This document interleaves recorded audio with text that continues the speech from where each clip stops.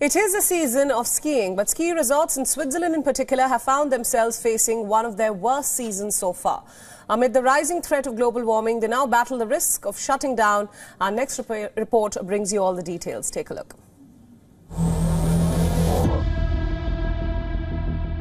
The Swiss Alps make up the most popular ski destination in the world. But the industry now faces an existential threat as it battles the looming danger of climate change. Unusually mild temperatures have forced the closure of ski resorts across Switzerland. The once snow-laden spots in the Swiss Jura Mountains have been left snowless and deserted by winter sports enthusiasts. According to a UN report, Switzerland is warming at about twice the global average rate due to the heat-trapping effect of its mountains. In January, temperatures hovered at more than 2 degrees Celsius above the average temperatures recorded in the last three decades. Par exemple, le col des Mosses, pour prendre une situation, une station. What I find a bit worrying is the multiplication of records, which come one after another at an accelerated pace. We beat records so often that in the end, it doesn't seem extraordinary to us anymore. But in fact, it is.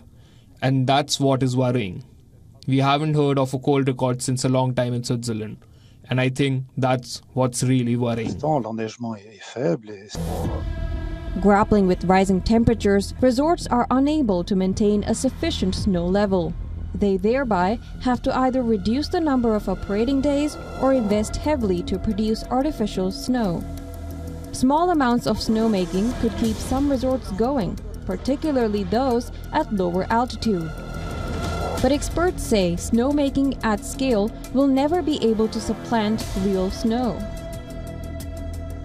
The process is not only too expensive, but also consumes a lot of energy and water. This alone should suffice as motivation for increased climate action. Researchers say the death of skiing is inevitable if global emissions are not reduced. The future of the winter sport, therefore, relies on how well nations reduce emissions in the decades that follow. Bureau Report, WION, World is One. WION World is One is now available in your country. Download the app now and get all the news updates on the move.